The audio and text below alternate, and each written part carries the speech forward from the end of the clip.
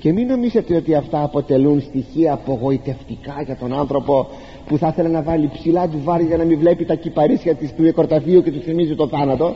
Όχι. Ο πιστός είναι εξοικειωμένος. Περιμένει τον θάνατον περιμένει και τη Δευτέρα του Χριστού παρουσία.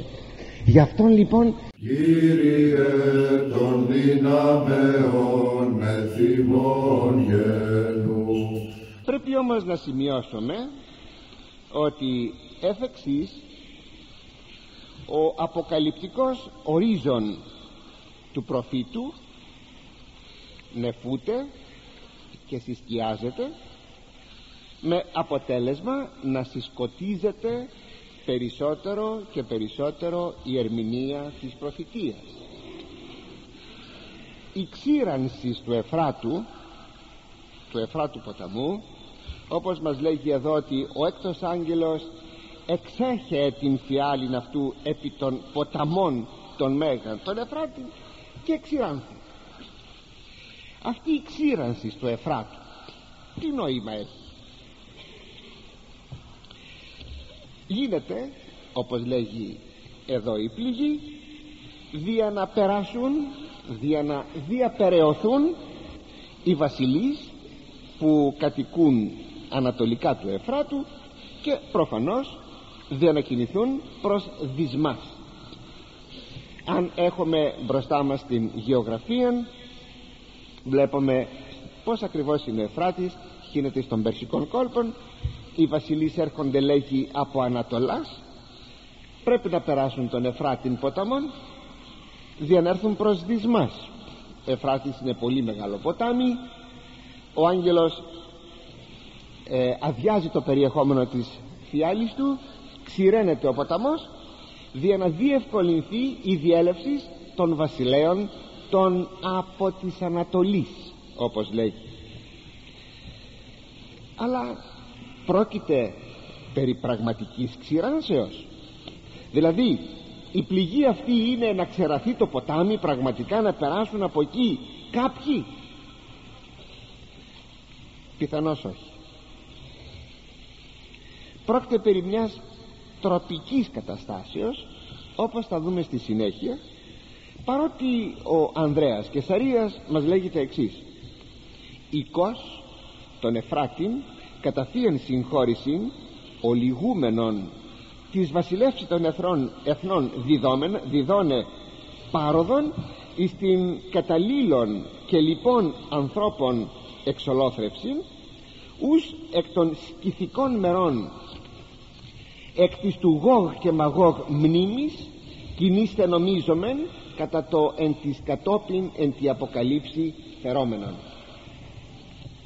Ότι δηλαδή ναι πράγματι θα ξεραθεί το ποτάμι για να περάσουν λέγει οι βασιλείς της Ανατολής όπως είναι η Πάρθη η Σκύθε εδώ λέγει Γόγ και Μαγόγ θα το δούμε λίγο πιο κάτω αυτό ή μάλλον και άλλες φορές θα το δούμε μέσα στο βιβλίο της Αποκαλύψεως. Και για να έρθουν να πλήξουν τι να πλήξουν; Θα το είδουμε στην Παλαιά Διαθήκη έχουμε ξηράνσεις ποταμών και θαλασσών όπως είναι η Ερυθρά θάλασσα που επέρασαν οι Εβραίοι φεύγοντας από την Αίγυπτον και όπως είναι και ο Ιορδάνης ποταμός ο οποίος εξηράνθη δύο φορές τη μία φορά με τον Ιησού του Ναβί και την άλλη φορά με τον προφήτη Ηλίαν αν θέλετε και άλλη μία φορά την ιδία ημέρα με τον προφήτη Ελισέων με τη διαφορά μόνο ότι η ξύρανσης εκεί ή το θεία επέμβασης και εκεί εξυπηρετεί το η υπόθεση της Βασιλείας του Θεού. Δηλαδή ο λαός του Θεού που προχωρεί και πραγματώνει το θείο σχέδιο της σωτηρίας που φεύγουν από την Αίγυπτον και έρχονται στην γη της επαγγελίας. Και εδώ η ξύρανση του Εφράτου ποταμού είναι θείο σχέδιο και είναι θεία επέμβασης. Με τη διαφορά όμως ότι εδώ δια να διευκολυνθεί κατά παραχώρηση το κακό. Όχι το, το καλό αλλά το κακό. Δηλαδή να γίνει γρηγορότερα το κακό. Θα το δούμε.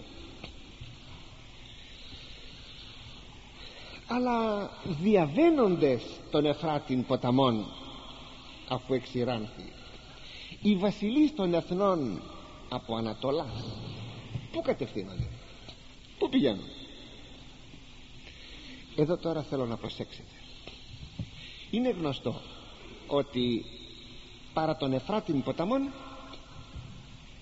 πλησίων του Περσικού κόλπου σχετικά πλησίων ευρίσκεται η παναρχία πόλης Βαβυλών.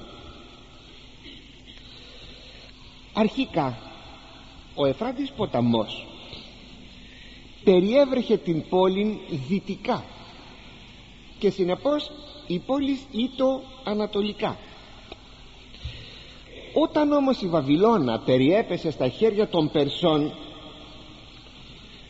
από το 538 έως το 531 π.Χ.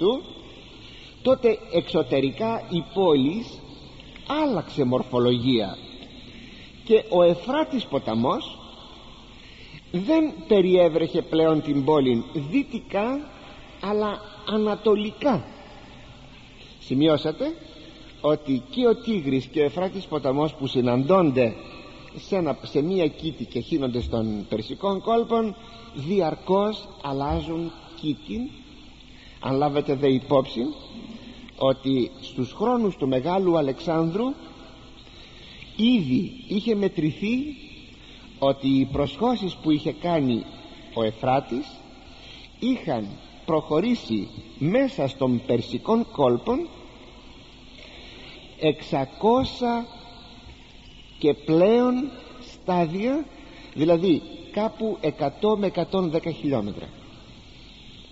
Και διαρκώς έχουμε προσχώσεις γιατί τα δύο αυτά ποτάμια μεταφέρουν πολύ ύλη και διαρκώς ο Περσικός κόλπος προσχώνεται. Έτσι λοιπόν την εποχή της, κατα... της κατακτήσεώς της η Βαβυλώνα άλλαξε εξωτερικά μορφή και το ποτάμι από δυτικά έρχεται τώρα ανατολικά. Αυτό μας το βεβαιώνει και ο Ηρόδοτος που επεσκέφθη το 450 π.Χ. και ο Κτησίας αυτός ο Έλληνας γιατρός που ήταν γιατρός του Αρταξέτησου του Δευτέρου ε, μεταξύ του 405 και του 358 είχε επισκεφθεί την περιοχή και μας το σημειώνει και αυτός. Λέγω αυτά γιατί σας ξαναλέγω ότι σήμερα έχουμε άλλη μορφολογία. Πρώτα πρώτα σήμερα δεν υπάρχει Βαβυλώνα.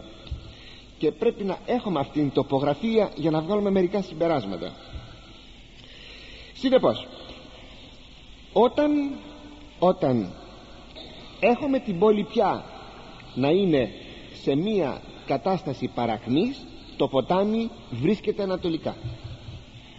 Έχει σημασία. Διότι αυτή η πόλη η Βαβυλών η μεγάλη πόλη που θα γίνει επανειλημμένος λόγος μέσα στην Αποκάλυψη είναι ένα σύμβολο είναι το σύμβολο των αντιθέων δυνάμεων που και εμείς εδώ κατ' επανάληψη το έχουμε πει. Πραγματικά καθόλου το μήκος της Παλαιάς Διαθήκης η Βαβυλών θεωρείται το σύμβολο της κοσμικής εξουσίας και της ισχύως της ειδωλολατρίας της διαφθοράς και της αντιθέσεώς της εις την Βασιλεία του Θεού. Το ίδιο συμβαίνει και στην Καινή Διαθήκη. Με τη διαφορά μόνο πως τώρα πια δεν είναι η Βαβυλώνα αλλά σύμβολο πλέον ενώ τότε στην Παλαιά Διαθήκη το η ιστορική και η πραγματική Βαβυλώνα τώρα εδώ δεν είναι πλέον η Βαβυλώνα αλλά είναι το σύμβολό της που είναι η Ρώμη. Αλληγορικά λοιπόν Βαβυλώνα είναι η Ρώμη με την αυτοκρατορία της. Και όταν επί παραδείγματι ο Απόστολος Πέτρος πιθανότατα γράφει στην πρώτη του επιστολή ασπάζεται ημάς η εν Βαβυλώνη συνεκλεκτή αυτή η συνεκλεκτή είναι η εκκλησία. Δηλαδή εκείνη που είναι εκλεκτή μαζί με τη δική σας εκκλησία είναι εκλεκτή και η, η εκκλησία των Ρωμαίων. Σας ασπάζεται λοιπόν, σας χαιρετά. Βλέπετε πως γράφουν. Γράφουν συνθηματικά. Και πως αποκαλεί ο Απόστολος Πέτρος την Βαβυλώνα. Δεν είναι η Βαβυλώνα μία ένα μικρό χωριό στην Άνω Αίγυπτο γιατί και εκεί υπήρχε μία Βαβυλών κόμι ήταν όμως χωριό με το, με το όνομα Βαβυλών. Αλλά είναι πιθανότατα η Ρώμη από την οποία γράφει ο Απόστολος Πέτρος και λέγει σας χαιρετάει η εκκλησία της Ρώμης πως το λέγει; Η εν, ασπάζεται ημάς η εν Βαβυλώνης είναι εκλεκτή έτσι λοιπόν η αλληγορία αυτή στηρίζεται στις δυο αυτές αυτοκρατορίες στην παλιά ιστορική Βαβυλώνα και στη νέα αλληγορική Βαβυλώνα που είναι η Ρώμη γιατί υπάρχουν ομοιότητες. Και οι ομοιότητες όπως σας τις είπα προηγουμένως δεν είναι παρά η στάση με μία λέξη, με μία φράση είναι η στάση τόσο της μιας κοσμοκρατορίας της Βαβυλωνιακής όσο και της άλλης της Ρωμαϊκής είναι η στάση έναντι της Βασιλείας του Θεού. Έναντι του Θεού.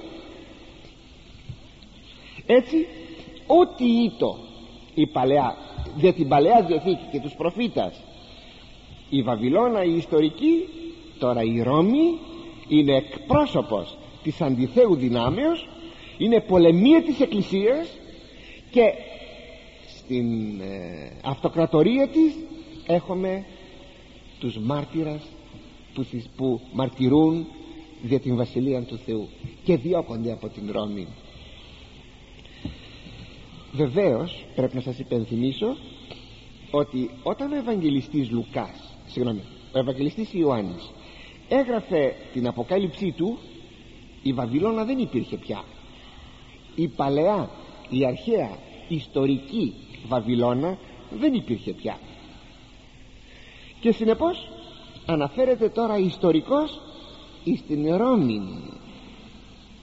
Όταν λέγει εδώ ότι ξεράθηκε το ποτάμι για να περάσουν οι βασιλείς από Ανατολών να πάνε πού; Να βρουν τη Βαβυλώνα η, της οποίας τώρα, η οποία τώρα το ποτάμι το έχει ανατολικά. Πρέπει λοιπόν να ξεραθεί για να περάσουν. Σύμβολα αυτά. Δηλαδή οι βασιλείς οι από Ανατολών να πλήξουν την Ρώμη. Αλλά για να καταλάβουμε όμως το πρωτότυπο πρέπει να πάμε στο αντίτυπο. Να το μελετήσουμε λιγάκι. Η αρχαία Βαβυλώνα τι ήταν; Καταρχάς το μια πόλης αρχαιοτάτη παναρχαία. Ίσως είναι η πρώτη πόλης του κόσμου. Μεγίστη. Πιθανότατα εκεί βρίσκομαι την κοιτίδα της ανθρωπότητας ακόμα εκεί υπάρχει και ο πρώτος πολιτισμός της ανθρωπότητας στην Βαβυλώνα. Αυτό το παναρχαιότατο όνομά της ακαδιστή στην ακαδική γλώσσα ακαδική. Λέγεται Βαβυλή. Και σημαίνει είσοδος προς τον Θεόν. Αυτό θα πει Βαβυλή. Από εδώ όμως κατάγεται και το εβραϊκό Βαβέλ προσέξτε όμως. Εβραϊκά σύγχυσις λέγεται Μπαλμπέλ. Μπαλμπέλ. Αλλά ένεκα μιας συγχύσεως των γλωσσών που συνέβη εκεί στην Βαβυλώνα με τη γνωστή ιστορία που μας αναφέρει το βιβλίο της Γενέσεως παρετιμολογήθη και έτσι εφ' εξής, η Αγία Γραφή ονομάζει την Βαβυλή που θα πει είσοδος προς τον Θεόν την ονομάζει από τη δική της λέξη Μπαλμπέλ την ονομάζει Βαβέλ για να δείξει ότι εκεί έγινε η σύγχυση των γλωσσών. Ή στην Βαβυλώνα και είναι πολύ σπουδαία αυτά να τα γνωρίζουμε γιατί αποτελούν τύπον ανεπτύχθη όπως σας είπα ο πρώτος ανθρώπινος πολιτισμός. Η πρώτη ανθρωπίνη διαφθορά μετά των κατακλυσμών η πρώτη σκέψης θεοποιήσεως του πολιτισμού δια της ανοικοδομήσεως του πύργου της Βαβέλ. Και ο πύργος της Βαβέλ είναι ένα σύμβολο του παλαιού προπατορικού αμαρτήματος της αυτοθεώσεως και της χειραφετήσεως από τον Θεόν του ανθρώπου αλλά και το σημείο από όπου ξεκινά και εκφράζεται ο ανθρώπινος ορθολογισμός.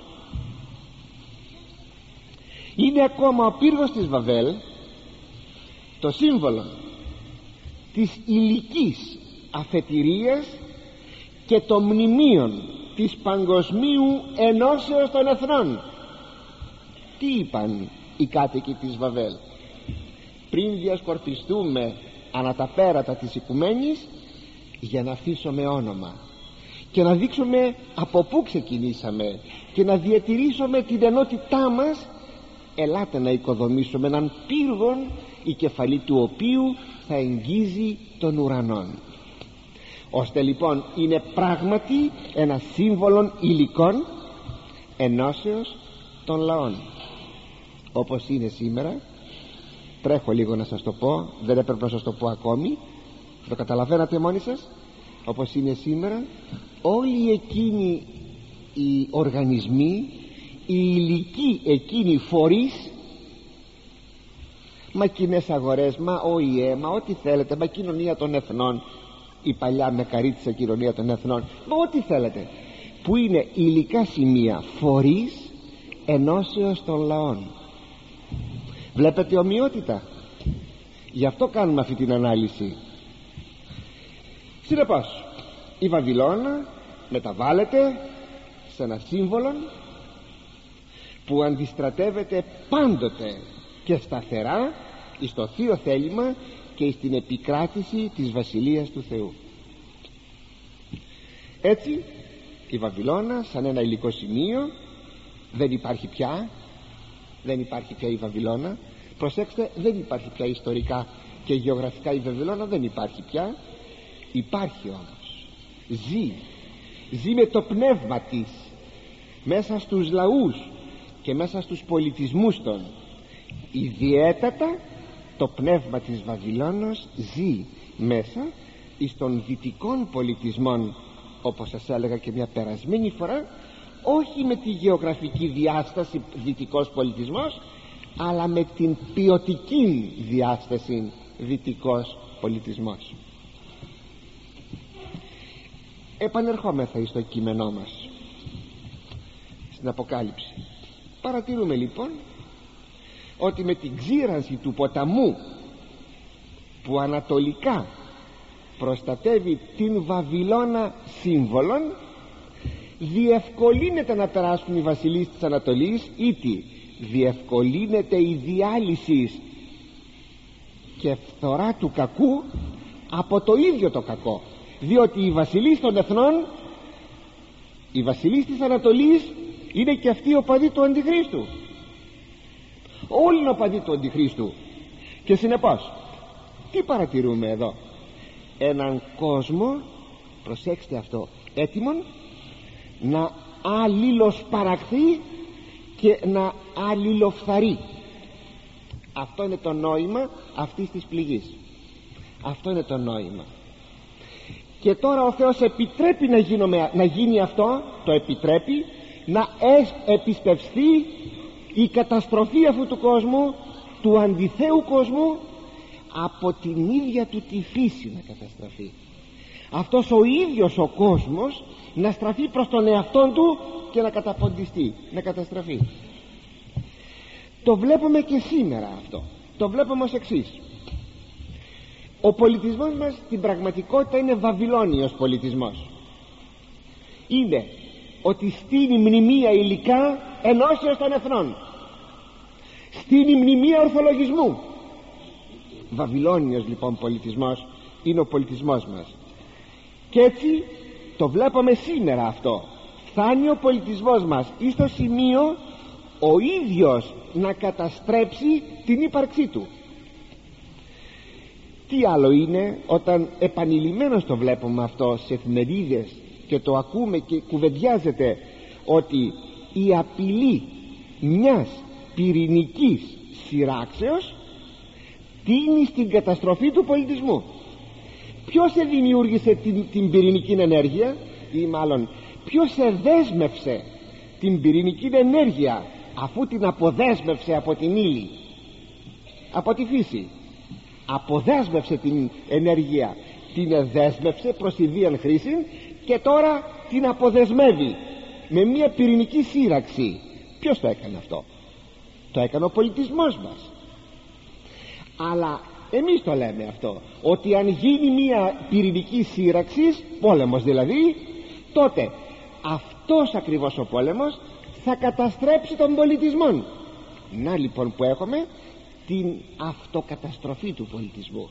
Να γιατί τώρα περνούν τα στρατόπεδα οι βασιλείς από την Ανατολή περνούν το ποτάμι για να στραφούν εναντίον της Βαβυλώνος δηλαδή η ιδία η καταστροφή της ανθρωπότητος από τον εαυτό της.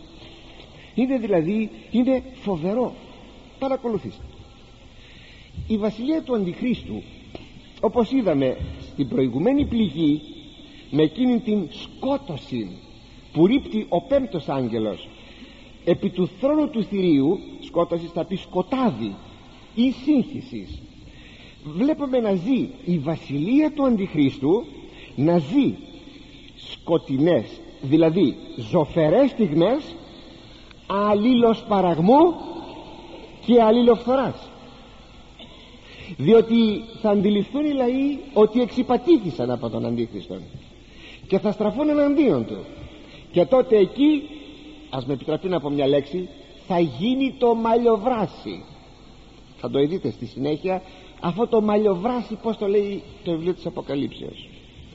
Ιστορικά. Δηλαδή επί ιστορικού επίπεδου αυτό συνέβη στην Βαβυλώνα Ρώμη.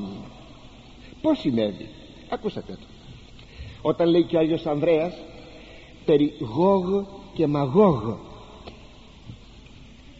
όπως τα ξέρετε ότι ο Γόγ είναι βασιλεύς απόγονος του Μαγόγ και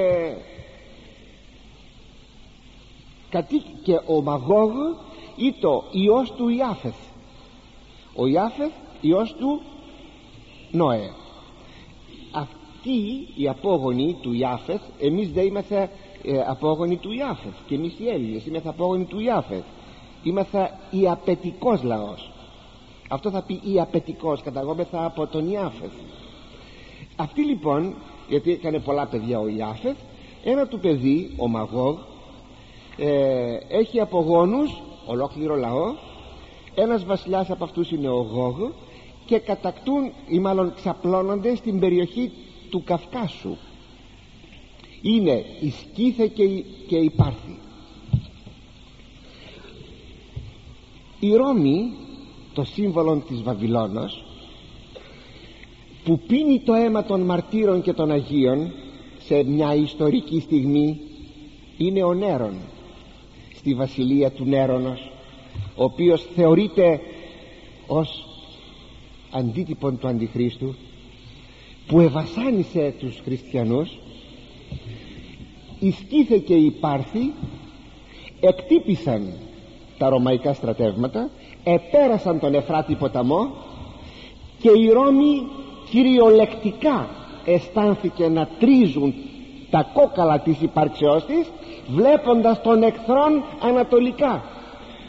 Ιστορικά λοιπόν είναι οι λαοί οι βασιλείς της Ανατολής που έρχονται περνώντας τον Εφράτη ήτι με ευκολία να νικήσουν τη φοβερή σιδερένια Ρώμη. Αυτό είναι το ιστορικό αντίτυπο το ιστορικό πλάνο. Αλλά έχουμε όμως τώρα το εσχατολογικό στοιχείο. Εκείνο το οποίο θα έλθει και δεν είναι τίποτε άλλο παρά όπως οι λαοί εκείνοι επανεστάτησαν εναντίον της ρωμαϊκής εξουσίας και εστράφησαν εναντίον της έτσι και οι λαοί θα στραφούν εναντίον του Αντιχρίστου και τότε θα γίνει ο μέγας πόλεμος το μαλλιοβράσι που λέγεται η μάχη του Αρμαγεδόνος αλλά και κάτι ακόμη να ειδούμε αυτοί που προέρχονται από την Ανατολή του ηλίου δηλαδή οι βασιλείς και στρέφονται εναντίον της προφανώς της λύσεως αφού κατευθύνονται προς δυσμάς. Ίσως να είναι και το πνεύμα της Ανατολής που έρχεται εις ανταγωνισμόν με το πνεύμα της Δύσεως.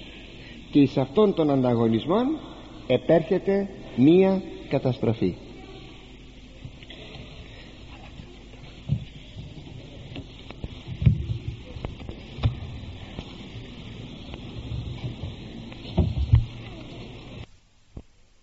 και είδον εκ του στόματος του δράκοντος και εκ του στόματος του θηρίου και εκ του στόματος του ψευδοπροφήτου πνεύματα τρία ακάθαρτα ως βάτραχοι. Οι σίγαρ πνεύματα δαιμονίων ποιούντα σημεία α εκπορεύεται επί τους βασιλείς της οικουμένης όλης. Συναγαγήν αυτούς εις των πόλεμων της ημέρας εκείνης της μεγάλης του Θεού του Παντοκράτορος.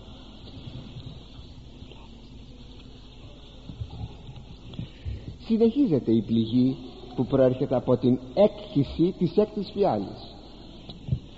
Ο Ιερός Ευαγγελιστής βλέπει από το στόμα εκάστου εκ της σατανικής τριάδος δράκοντος θηρίου πρώτου, θηρίου δευτέρου διαβόλου δηλαδή αντιχρίστου και ψευδοπροφήτου να εξέρχεται από ένα ακάθαρτο πνεύμα που ομοίαζε με βάτραχον από το στόμα του.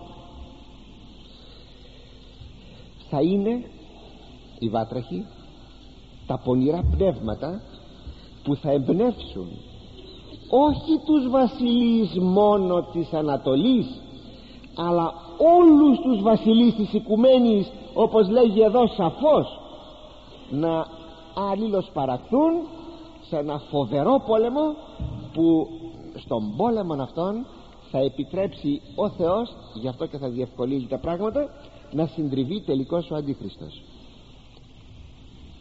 Εδώ πραγματούται εκείνο που είχε πει κάποτε ο Κύριος όταν τον κατηγόρησαν ότι εν το άρχοντι των δαιμονίων εκβάλλει τα δαιμόνια και έκανε μια υπόθεση ο Κύριος. Η υπόθεση αυτή όμως τώρα γίνεται πραγματικότης είπε ο Κύριος Μάρκος 3.26 και ή εάν ο σατανάς ανέστη εφεαυτόν και με μέριστε ου δύναται σταθήνε αλλά τέλος έχει.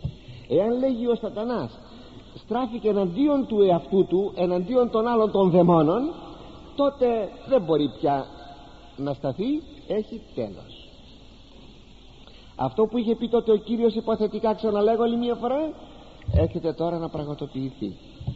Ιστορικά όπως σας εξήγησα ανεφέρετο εις την Ρώμη και εις τους βαρβάρους από Ανατολών. Κατόπιν όμως εις όλους τους βαρβάρους και από Ανατολών και από Βορρά. Όπως ξέρετε η Ρώμη έδωσε όχι λίγες μάχες από Βορρά. Όταν κατέβαιναν τα φράγκικα φύλλα εναντίον της Ρώμης που και τελικά την κατέκτησαν την Ρώμη. Τότε ακούστε τι συνέβαινε. Η Ρώμη συνεβουλεύεται τους μάγους της περί του πρακτέου. Τι να κάνει; Πως να αντιμετωπίσει τους εχθρούς; Οι βάρβαροι αντιστοίχως και αυτοί συνεβουλεύονται τους μάγους των περί του πρακτέου. Αλλά το ότι και η Ρώμη ζητούσε να μάθει μέσω της μαντικής τέχνης τι να κάνει το έκαναν και οι Έλληνες αυτό. Ποτέ οι Έλληνες δεν ξεκινούσαν πόλεμο εάν δεν πήγαιναν να ρωτήσουν το μαντίον των δελφών. Το ξέρετε έτσι λοιπόν; Και η Ρώμη συμβουλεύεται το διάβολο διότι τι, τι ήταν το μαντίον των δελφών; Τι ήταν το ιερόν του Απόλλωνος; Ο διάβολος που έδινε τις συμβουλές του. Για σκεφτείτε που έφτασε ο άνθρωπος ο ταλέπρος άνθρωπος να παίρνει συμβουλές από το διάβολο. Ο διάβολος όμως είναι δυνατόν ποτέ αγαπητοί μου να δώσει αγαθή συμβουλή; Και αν δώσει εντός εισαγωγικών αγαθή συμβουλή. Το κάνει για να κερδίσει περισσότερα. Όπως και εμείς όταν βάζουμε δόλο μας στο αγκίστρι δεν το βάζουμε για να ταΐσουμε τα ψάρια αλλά για να πιάσουμε τα ψάρια.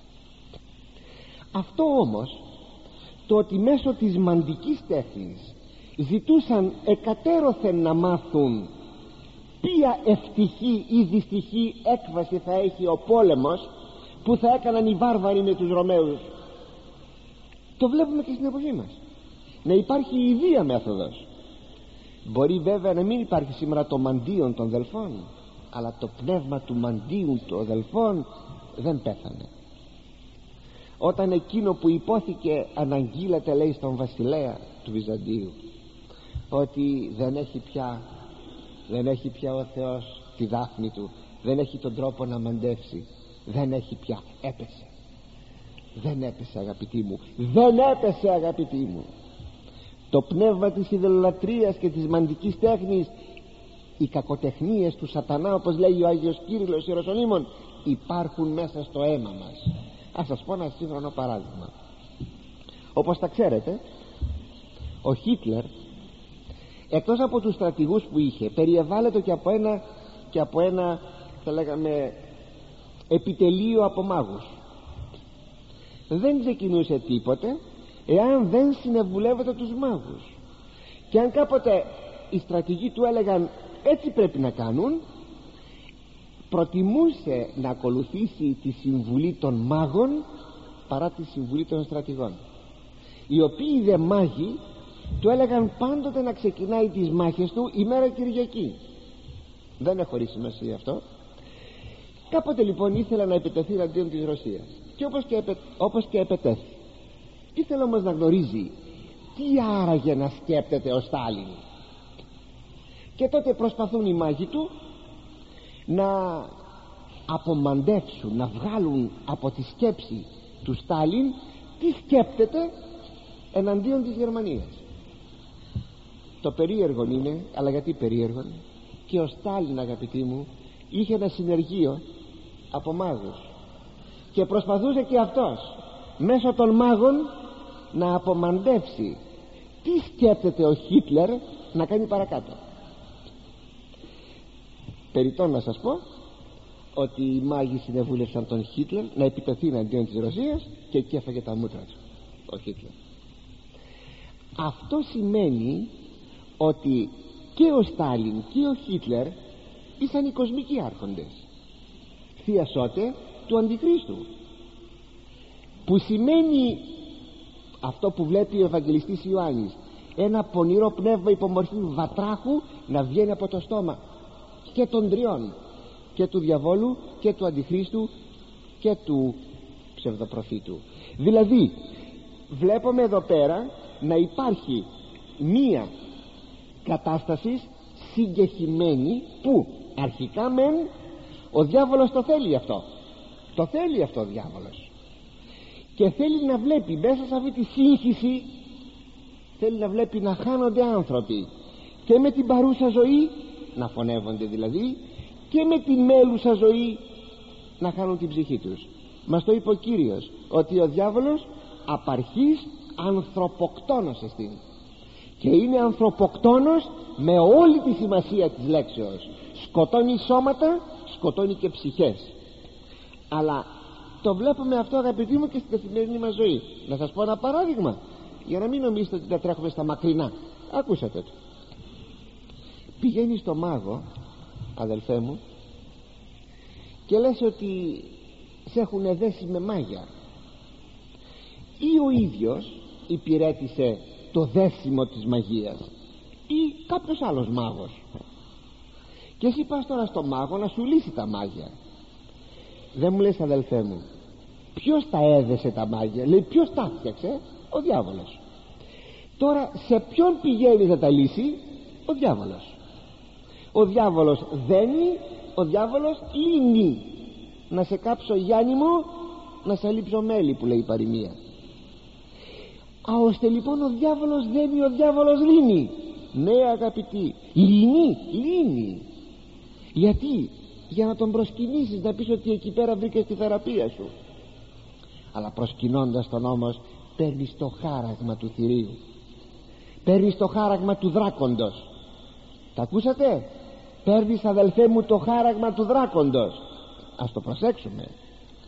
Αυτό κάνει ο διάβολος για να έχει δουλειά. Δηλαδή να ικανοποιεί το αρχαίο του πάθος την υπερηφάνεια να λατρευτεί να θεοποιηθεί να τον προσκυνήσουν οι άνθρωποι.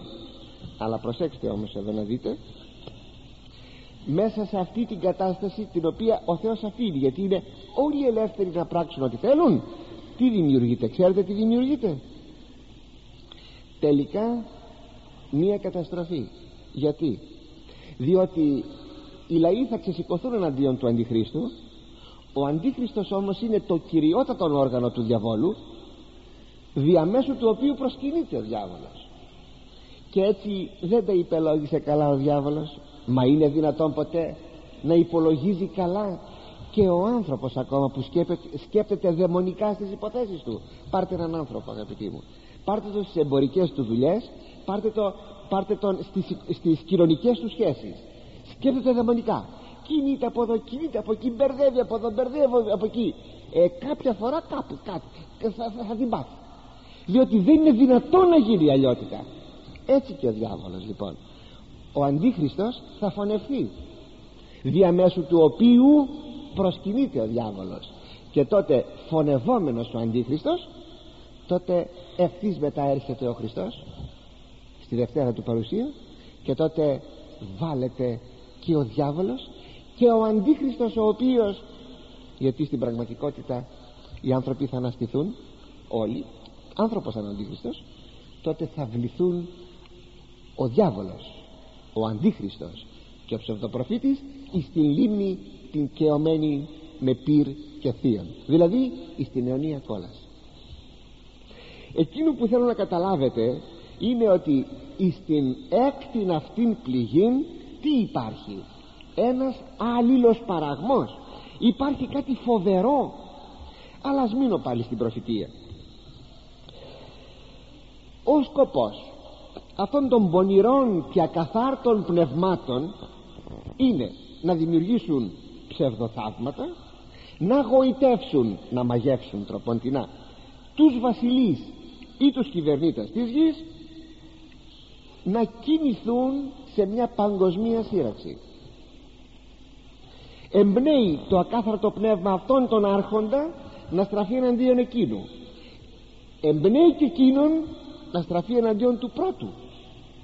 Και τότε έχουμε όπως σας είπα τον διαβόητο εκείνον πόλεμον του Αρμαγεδόνος του οποίου ιστορικό προηγούμενο δεν υπάρχει.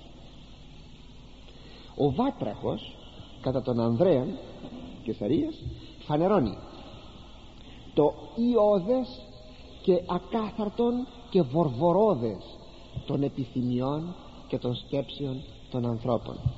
Το δηλητηριώδες αυτό θα πει το ιώδες το ακάθαρτο και βορβορόδες πως σκέπτονται οι άρχοντες των λαών εναντίον των άλλων. Ή όπως λέγει ο Ιερός Αυγουστίνος οι βάτραχοι εκφράζουν την λαλιστάτην ματαιοδοξία είδατε πως φωνάζουν τα βατράχια ε; φωνάζουν, φωνάζουν, φωνάζουν. Όταν μάλιστα είναι εκεί νερά και τα λοιπά φωνάζουν, φωνάζουν, όλη νύχτα φωνάζουν. Αυτό είναι μια φλιαρία είναι το σύμβολο της φλιαρίας αλλά λαλιστάτη ματαιοδοξία πολύ ωραίο το λέει αυτό ο Άγιος, ο Άγιος τι σημαίνει αυτό; Είναι όλα εκείνα τα οποία οι άρχοντες των λαών λέγουν. Ελάτε να κάνουμε ειρήνη ελάτε να κάνουμε αφοπλισμούς. Ελάτε, ελάτε, καλοπιάσματα. Είναι τα, τα, τα σκέρτσα και τα κομπλιμέντα της πολιτικής. Μέχρι ότου «Ω Θεέ μου» το συλλάβατε; Έως ότου αρπαχτούν. Αρπαχτούν. Και προσέξτε αυτό το θα αρπαχτούν θα αρπαχτούν κατά ένα τέτοιο τρόπο που δεν θα ξέρει κανείς ποιον πολεμά και γιατί πολεμά θα στρέφεται ο, ένα, ο ένας εναντίον του άλλου και δεν θα ξέρει γιατί πολεμάει. Με τελική πραγματικά καταστροφή της ανθρωπότητος είναι αυτό που φοβόμαστε. Και αυτό που μέχρι σήμερα μας κρατάει. Σας φέρω και στην πραγματικότητα δηλαδή που λέμε προς Θεού μη γίνει πόλεμος όχι πόλεμος τοπικός. Παγκόσμιος πόλεμος.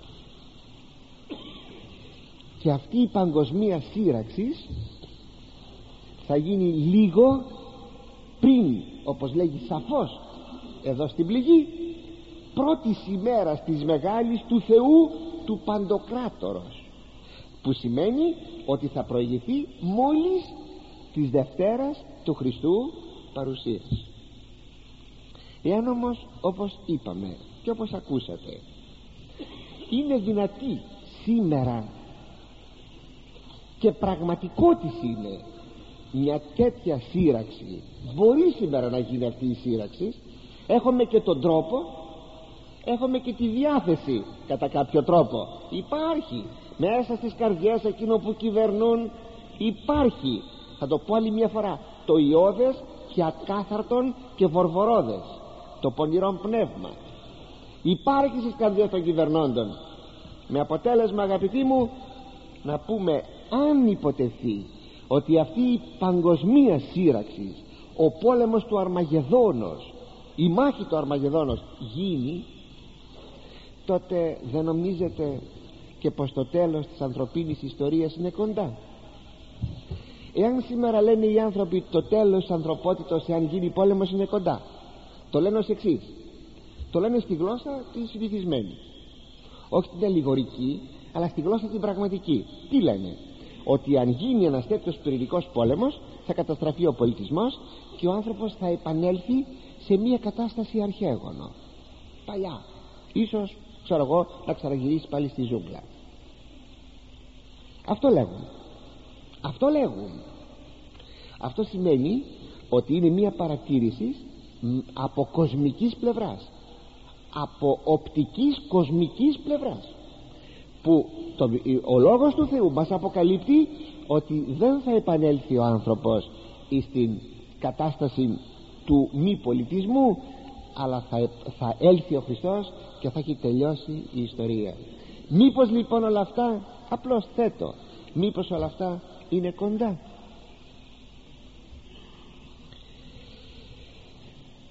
Ο Σοφονίας ο προφήτης στο πρώτο του κεφάλαιο στίχος 14 λέγει το εξής. Εγγύς η μέρα Κυρίου η μεγάλη. Εγγύς και ταχεία σφόδρα μην νομίζετε αγαπητοί μου πως θα περάσουν χιλιάδες χρόνια από τότε που ήρθε ο Χριστός. Έχουν ήδη περάσει δύο χιλιάδες χρόνια. Δεν θα περάσουν χιλιάδες χρόνια. Ακούστε την έκφραση εγγύς και παραλαμβάνει για δευτέρα φορά τη λέξη εγγύς και μετά ταχεία και βάζει και το σφόδρα. Εγγύς, εγγύς, ταχεία, σφόδρα. Με αυτά όλα θέλει να δείξει ότι το τέλος της ιστορίας δεν είναι πάρα πολύ μακριά. Δεν είναι πολύ μακριά. Δεν λέγω εγώ. Έτσι φαίνονται τα πράγματα. Τόσο από τη μια μεριά στο βιβλίο της Αποκαλύψεως και στους προφήτες όσο και από την άλλη που ζούμε ή αρχίζουμε να αντιλαμβανόμεθα κάποιες πραγματικότητες που λίγα χρόνια πιο μπροστά ήσαν αδιανόητες. Και συνήγαγεν αυτούς ποιος συνήγαγεν; Και συνήγαγεν αυτούς εις των τόπων των καλούμενων Εβραϊστή Αρμαγεδόν. Εδώ όμως εγώ επίδειξα ένα στίχο γιατί ήθελα να συνδέσω ήθελα να συνδέσω αυτά που σας είπα με αυτόν τον στίχο που σας διάβασα τώρα. Διότι γίνεται μια διακοπή και παρεμβάλλει έναν άλλον στίχο ο Ευαγγελιστής Ιωάννης. Ο τρόπος μάλιστα που διακόπτει είναι απότομος. Γιατί; Διότι θέλει να παρεμβάλλει σε μια κατάλληλη στιγμή εκεί που υπάρχει ζωφερότης των όσων λέγει να παρεμβάλλει κατά τη συνήθειά του ο Ιερός Ευαγγελιστής έναν παραμυθιτικών παρηγορητικών λόγων. Γι' αυτό και σταματάει από τόμος που θυμίζει ο τρόπος με τον οποίο σταματάει από τόμος όπως ένας που τρέχει τρέχει για μια υπόθεση ασθμένει σταματάει από τόμος μένει λίγο παίρνει αναπνοή και ξαναρχίζει να, τρέξει, να τρέχει να φάει στο τέρμα. Πριν λοιπόν φάει στο τέρμα να μας πει ότι τους εμάζεψε όλους εις τον τόπο των καλούμενων Εβραϊστή Αρμαγεδόν για να γίνει ο πόλεμος. Βάζει το στίχο. Ιδού έρχομαι ως κλέπτης μακάριος ο γρηγορών και τηρών τα ημάτια αυτού ή να μη γυμνός περιπατεί και βλέπωση την ασχημοσύνη αυτού αυτός είναι ο παρηγορητικός αγαπητοί μου στίχος και μάλιστα τόσο απότομα μπαίνει. Ας τον δούμε τον στίχο αυτόν.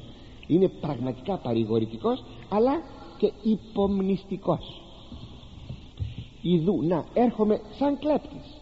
Ευτυχισμένος αυτός που μένει ξυπνητός και φυλάει τα ρούχα του για να μην βρεθεί γυμνός και βλέπουν την ασχημοσύνη του. Βλέπουν τα απόκριφά του μέλη. Αυτό θα πει ασχημοσύνη είναι ο τρίτος μακαρισμός της Αποκαλύψεως. Ο πρώτος μακαρισμός 1,3 μας πληροφορούσε ότι ο καιρός είναι εγγύς. Κοντά. Ο τρίτος αυτός μακαρισμός μας πληροφορεί ότι ο καιρός είναι ευνίδιος. Ξαφνικός. Η ευνηδιότης αυτού του χρόνου παρομοιάζεται με τον κλέφτη που έρχεται σε άδειλον χρόνων και συνεπώς αυτός ο μακαρισμός έρχεται να ευτυχήσει εκείνους οι οποίοι βρίσκονται εν εγρηγόρση ξυπνητή, πνευματικός ξυπνητή μακάριος γρηγορών και τυρών τα ημάτια αυτού. Ευτυχισμένος αυτός που μένει ξύπνιος και φυλάει τα ρούχα του. Από μια συνηθισμένη σκηνή σε μια παραλία και μου λέτε αγαπητοί μου αν κάποτε είσαστε μόνος σας και πήγατε να κάνετε το μπάνιο σας στην παραλία και εκεί βγάλατε βεβαίως τα ρούχα σας τα αφήσατε στην παραλία, στην άμμο και μπήκατε στη θάλασσα. Έκανατε το μπάνιο σας. Και όταν βγαίνετε έξω αντιλαμβάνεστε ότι κάποιος κλέπτης σας πήρε όλα τα ρούχα. Και εντωμεταξύ έχετε να μπείτε σε λεωφορείο για να γυρίσετε πίσω στο σπίτι σας. Πως θα γυρίσετε; Πως θα γυρίσετε πίσω; Τι αισθήματα πρέπει να έχετε την ώρα εκείνη όταν βλέπετε ότι δεν υπάρχουν ρούχα ούτε χρήματα τίποτα. Όπως βγήκαν από τη θάλασσα. Τα ίδια αισθήματα και χειρότερα θα έχει εκείνος όταν θα αντιληφθεί την πνευματική του γύμνωση. Ποια είναι αυτή η στολή; Η στολή της ψυχής είναι οι αρετές λέει ο Ανδρέας Κεσαρίας. Το δε γρηγορήν και φυλάτην τα ημάτια δειλεί, φανερώνει το επαγρυπνήν τες αγαθές πράξεις. Το να αγρυπνείς πάνω στις αγαθές πράξεις. Αυτεγαρισί των Αγίων τα ημάτια. Γιατί αυτά είναι τα ημάτια των Αγίων. Ενθυμίστε ο Κύριος την παραβολή του ασώτου Ιού τη βάζει στο στόμα του πατρός όταν γυρίζει πίσω ο άσωτος Υιός. Λέγει εξενέγκατε την στολή την πρώτη και ενδύσατε αυτόν βγάλετε την πρώτη στολή και ντύσατε τον. Ποια είναι αυτή η πρώτη στολή; Είναι η κατάσταση αυτής της λεγόμενης αρχαιγόνου δικαιοσύνης εις τον άνθρωπο. Ήταν όπως έγινε ο Αδάμ ο οποίος το γυμνός λέει αλλά δεν ισχύεται το δεν εντρέπεται ξέρετε γιατί διότι ήταν ντυμένος με θεία δόξα εκείνη που είχε ο Χριστός εις το Θαβόρ έφυγε αυτή η δόξα και τότε είδε ο Αδάμ ότι είναι γυμνός. Τότε το είδε. Έφυγε η θεία απλότης είδε τη γυμνωσή του. Και συνεπώς επαλαιώθη το ένδυμα που είχε. Το έχασε. Ανανεώθηκε το ένδυμα αυτό εις το βάπτισμα. Εις τον τάφο κάποιο αρχαίου μάρτυρος που μόλις είχε βαπτιστεί και μαρτύρησε έγραψαν εκοιμήθη εν λευκής. Απέθανε με τα λευκά ρούχα που του είχαν βάλει το χιτόνα το λευκό μόλις είχε βαπτιστεί και που συνεβόλιζε αυτός ο λευκός χιτώνας την καθαρότητα της ψυχής. Σε όλες τις αγγελοφάνειες έχουμε πάντοτε λευκούς χιτώνες. Στην Ανάσταση παντού οι άγγελοι με λευκούς χιτώνες. Όπως ακόμη και ο Κύριος όταν μετεμορφώθη τα ρούχα του έγιναν λευκά. Η Εκκλησία όταν βαπτίζει λέγει χιτώνα μη παράσχου φωτεινών. Δώσ' μου Κύριε χιτώνα φωτεινών. Ο αναβαλόμενος φως ως ημάτιον σύ που ντύρισε το φως σαν ημάτιον. Σύμβολο λοιπόν ο λευκός χιτών ηθικής καθαρότητος. Και τα λευκά ημάτια το ίδιο. Αλλά γενικά όμως ο ηματισμός είναι το σύμβολο της ενδύσεως της ψυχής με τις αρετές. Και λέγει στο βιβλίο της Αποκαλύψεως και εδόθη αυτή τη εκκλησία δηλαδή ή να περιβάλλεται να ντυθεί δύσινων, λαμπρών, καθαρών. Το γαρδίσινον τα δικαιώματα οι αρετές των Αγίων εστί. Τι είναι το, τα ενδύματα αυτά που ντύθηκε η Εκκλησία; Οι αρετές των Αγίων. Έτσι λοιπόν η τήρηση αυτής της ενδύσεως πρέπει να είναι συνεχής. Δεν λέγει ο τηρήσας αλλά ο τυρών τυρό θα πει φιλό. Δεν λέγει αυτός ο οποίος εφύλαξε αλλά αυτός που φυλάει τα ρούχα του. Δηλαδή συνεχώς φυλάει τα ρούχα του. Ο Κύριος χαρακτηριστικά λέγει στον επίσκοπο των Σάρδεων στην Αποκάλυψη αλλά έχεις λίγα ονόματα εν σάρδεση α, τα οποία ούτε μόλυναν τα ημάτια αυτών και περιπατήσου συμμετεμού εν λευκής ότι άξιοι εσύ ωραίο αυτό. Ιδού έρχομαι ως κλέπτης λέγει ο Κύριος. Πολλές φορές ο Κύριος μας μίλησε αγαπητοί μου στα Ευαγγέλια δια το ευνίδιον της Δευτέρας του παρουσίας. Και συνεπώς ο άνθρωπος μπροστά του έχει δύο στάδια. Το πρώτο είναι ο προσωπικός του θάνατος και το δεύτερο η παγκοσμία κρίση και στα δύο αυτά υπάρχει το στοιχείο του ευνηδίου. Πότε θα πεθάνω πότε θα γίνει η Δευτέρα του Χριστού παρουσία δεν γνωρίζω. Και όμως για τον πιστό δεν είναι τίποτα ευνίδιον διότι γνωρίζει διότι αναμένει διότι προσδοκά. Να πως το λέγει αυτό ο Απόστολος Παύλος Θεσσαλονικής Α 5 1 11 περί δε των χρόνων και των καιρών αδελφοί ούχρια να έχετε μην γράφεστε. Αυτοί ακριβώς είδατε γνωρίζετε ότι η μέρα κυρίως κλέπτης ανοιχτή ούτως έρχεται. Όταν γαρλέγωσιν ειρήνη και ασφάλεια τότε εθνίδιος αυτής εφίσταται όλεθρος. Εμείς δε αδελφοί ούτε στα εν σκότη σεις δεν είσαστε στο σκοτάδι να έρθει ο κλέπτης τη νύχτα; Είναι η ημέρα ημάς ως κλέπτης καταλάβει; Να σας αρπάξει ως κλέπτης; Πάντες ημείς οι φωτόσεστε και εις η ημέρας. Ούκες μεν νυκτός ουδές σκότους και όπως γράφει ο Άγιος Σημεών ο νέος θεολόγος στον 57 του λόγο η παρουσία του Κυρίου λέγει ήλθε και έρχεται πάντοτε εις τους πιστούς και είναι παρούσα εις όλους εκείνους που θέλουν λέγει επί παραδείγματι ο Άγιος Εφρέμος Ήρος «Ω κρεβάτι μου όταν πηγαίνει κάθε βράδυ στο κρεβάτι του «Ω κλίνη μου, ω κρεβάτι μου ίσως απόψε γίνεις το φερετρό μου» και μην νομίζετε ότι αυτά αποτελούν στοιχεία απογοητευτικά για τον άνθρωπο που θα ήθελε να βάλει ψηλά του βάρη για να μην βλέπει τα κυπαρίσια της του εκορταφείου και του θυμίζει το θάνατο. Όχι. Ο πιστός είναι εξοικειωμένος. Περιμένει τον θάνατον περιμένει και τη Δευτέρα του Χριστού παρουσία γι' αυτόν λοιπόν δεν υπάρχει τίποτα το ευνίδιον. Είναι πάντοτε έτοιμος και περιμένει. Περιμένει ανά πάσα στιγμή. Ευνηδιώτης υπάρχει μόνο εις τους απίστους εκεί για αυτούς τα πράγματα είναι ευνίδια. Αγαπητοί μου η εκκλησία μας έρχεται θαυμάσια και λέγει αθώων ο κριτής επελεύσετε και εκάστου επράξεις γυμνοθήσονται αλλά φόβο κράξομεν εν μέσω της νυχτός. Άγιος, Άγιος, Άγιος ή είσαι. Ο Θεός ημών και της Θεοτόκου ελέησον ημάς. Και όπως τελειώνει ο Απόστολος Παύλος στην πρώτη προς Θεσσαλονικής επιστολή του λέγει αδελφοί γρήγορώμεν και νύφομεν